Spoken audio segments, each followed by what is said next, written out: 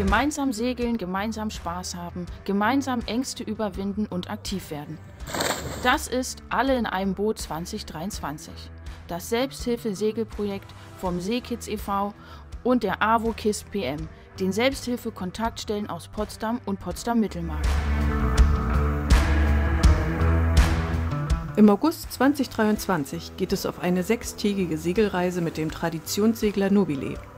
Mit dabei 14 Männer und Frauen aus Potsdam und Umgebung, aus verschiedenen Selbsthilfegruppen mit unterschiedlichen Erfahrungen und Krankheitsbildern. Ja, war super. War geil. Ich fand das richtig cool eigentlich, dass wir dann so in der Schräglage waren. Leine los also im Altstadthafen von Wismar. Kurs Nord-Nordwest.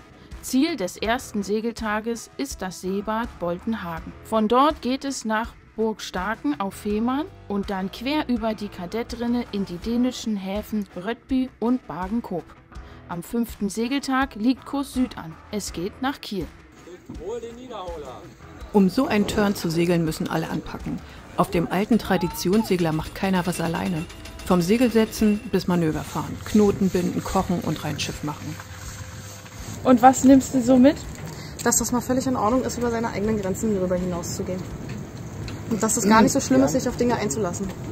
Viele Gespräche auf jeden Fall mit ähm, anders Betroffene, außer jetzt mit Sucht und so. Ne? Und Ja. ähm, also viele gute Gespräche. Mehr Selbstvertrauen. Und ja, ich nicht immer gleich sagen, ich kann das nicht, sondern einfach machen. Nehme ich auf jeden Fall mit, so, dass es halt auch mit fremden Leuten geht, so, ähm, dass man im Team ganz gut zusammenarbeiten kann.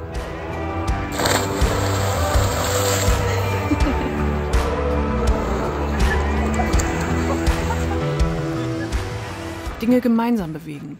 Das ist Selbsthilfe im wahrsten Sinne des Wortes. Das ist der Gedanke vom Selbsthilfe-Segelprojekt Alle in einem Boot 2023. Und ganz nebenbei gibt es Gespräche und Vernetzung.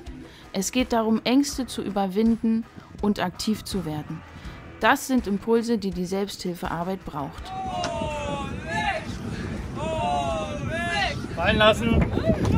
Wenn auch ihr jetzt Lust bekommen habt, es mit Selbsthilfe zu probieren, dann meldet euch in den Selbsthilfe-Kontaktstellen von Anke und Annette.